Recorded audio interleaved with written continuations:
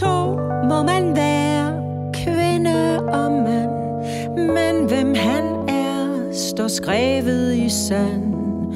Er han mundær, ham som snart kan blive min? Hvis vi for sjov skyld blot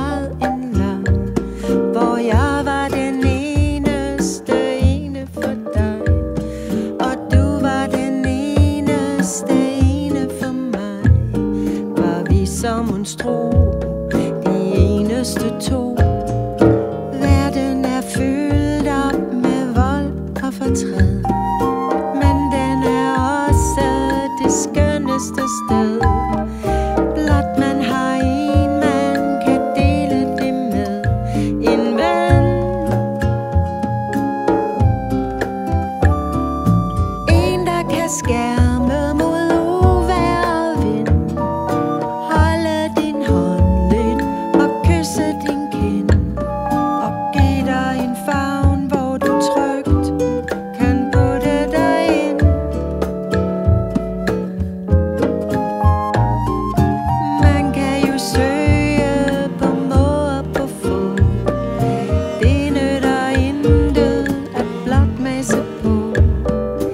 closely saw